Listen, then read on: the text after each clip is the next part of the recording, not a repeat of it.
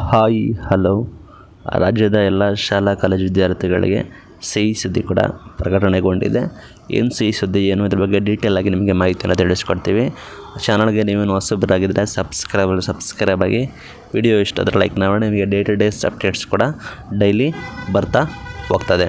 ನಂತರ ಮಾಹಿತಿ ನೋಡೋದಾದರೆ ಎರಡು ಸಾವಿರದ ಇಪ್ಪತ್ತ್ಮೂರು ಇಪ್ಪತ್ತ್ನಾಲ್ಕನೇ ಸಾಲಿನ ಶೈಕ್ಷಣಿಕ ಸ್ಟೂಡೆಂಟ್ ಬಸ್ ಪಾಸ್ ವ್ಯಾಲಿಡಿಟಿ ಅವಧಿಯಂತೆ ಇಂದಿನಿಂದ ಅಂದರೆ ಮೇ ಮೂವತ್ತೊಂದರಿಂದ ಎಲ್ಲ ಪ್ರಾಥಮಿಕ ಮತ್ತು ಪ್ರೌಢಶಾಲೆಗೆ ಆರಂಭವಾಗಿದ್ದು ಬೇಸಿಗೆ ರಜೆಯನ್ನು ಮುಗಿಸಿಕೊಂಡು ವಿದ್ಯಾರ್ಥಿಗಳಿಗೆ ಶಾಲೆಯತ್ತ ಹೊರಟಿದ್ದಾರೆ. ಎಲ್ಲ ವಿದ್ಯಾರ್ಥಿಗಳು ಸ್ಕೂಲ್ಗಳಿಗೆ ಹೊರಟಿದ್ದಾರೆ. ಶಾಲೆಗಳನ್ನ ಮುಗಿಸ್ಕೊಂಡು ಅಂದರೆ ಸಾರಿ, ಫಾರ್ ಎಕ್ಸಾಂಪಲ್ ಬೇಸಿಗೆ ರಜೆಯನ್ನು ಮುಗಿಸ್ಕೊಂಡು ಸ್ಕೂಲ್ಗೆ ಹೋಗ್ತಾ ಇದ್ದಾರೆ. ಅಂಥ ವಿದ್ಯಾರ್ಥಿಗಳಿಗೆ ಬಸ್ ಪಾಸ್ ಅವಧಿಯನ್ನು ಕೂಡ ವಿಸ್ತರಣೆ ಮಾಡಿ ಆದೇಶ ಕೂಡ ಹೊರಡಿಸಿದ್ದಾರೆ. ಇಲ್ಲಿ ಏನು ಹೇಳಿದ್ದಾರೆ ಅಂದರೆ ರಾಜ್ಯ ಸಾರಿಗೆ ನಮ್ಮದಿಂದ ವಿದ್ಯಾರ್ಥಿಗಳಿಗೆ ಸಿ ಸುದ್ದಿ ಕೂಡ ಬಂದಿದೆ. ಹಳೆ ಬಸ್ ಪಾಸನ್ನು ತೋರಿಸಿ ನೀವು. ಹಳೆ ಬಸ್ ಪಾಸ್ ತೋರಿಸಿ ಜೂನ್ ಹದಿನೈದರವರೆಗೆ ನೀವು ಉಚಿತವಾಗಿ ಪ್ರಯಾಣ ಕೂಡ ಮಾಡಬಹುದು ಅಂತ ಹೇಳಿ ವಿದ್ಯಾರ್ಥಿಗಳಿದ್ದಾರೆ ಇದು ರಾಜ್ಯದ ಶಾಲಾ ಮತ್ತು ಕಾಲೇಜು ವಿದ್ಯಾರ್ಥಿಗಳಿಗೆ ಮಾತ್ರ ಇದು ಅನ್ವಯಿಸುತ್ತದೆ. ನೀವು ಹಳೆ ಪಾಸ್ ತೋರಿಸಿ ಹೋಗ್ಬೋದು. ಅಥವಾ ಹಳೆ ಪಾಸ್ ನಿಮ್ಮದು ಇಲ್ಲ ಅಂದರೆ ನೀವು ಈ ವರ್ಷದ ರೆಸಿಪ್ಟ್ ಅಡ್ಮಿಷನ್ ಈ ವರ್ಷ ಅಡ್ಮಿಷನ್ ಆಗಿದ್ದರೆ ಆ ರೆಸಿಪ್ಟ್ನ ತೋರಿಸಿ ನೀವು ಅದನ್ನು ಟ್ರಾವೆಲ್ ಮಾಡ್ಬೋದು ಅಂತ ಮೆನ್ಷನ್ ಮಾಡಿದ್ದಾರೆ.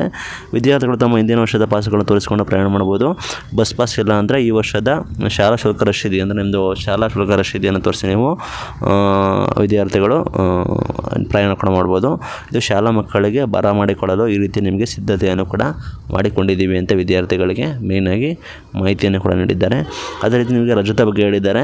ಏನಂದರೆ ಏನಾದರೂ ಮಳೆ ಗಿಳೆ, ನಿಮಗೆ ಬಿಟ್ಟು ಬಿಡದೆ ಮಳೆ ಬಂದರೆ ಸಾಕಷ್ಟು ಮಕ್ಕಳಿಗೆ ಶಾಲೆಗೆ ಹೋಗಲು ತೊಂದರೆ ಆದರೆ ಮಳೆ ಬಂದರೆ ಅಂಥ ವಿದ್ಯಾರ್ಥಿಗಳಿಗೆ ಅಧಿಕಾರಿಗಳಿಗೆ ಗಮನಕ್ಕೆ ತಂದು ನಿಮಗೆ ಶಾಲೆಗಳಿಗೆ ರಜೆಯನ್ನು ಕೂಡ ಘೋಷಣೆ ಮಾಡಬೇಕು ಅಂತ ಹೇಳಿದ್ದಾರೆ. ಅಧಿಕಾರಿಗಳ ಗಮನಕ್ಕೆ ತಂದು ಶಾಲೆ, ರಜೆಗೆ, ಶಾಲೆಗಳಿಗೆ ರಜೆ ತೋರಿಸ್ಬೇಕು.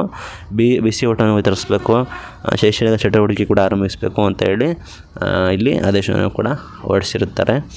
ಥ್ಯಾಂಕ್ ಯು ಫಾರ್ ವಾಚಿಂಗ್ ಎಲ್ಲ ವಿದ್ಯಾರ್ಥಿಗಳಿಗೆ ಟಿಲ್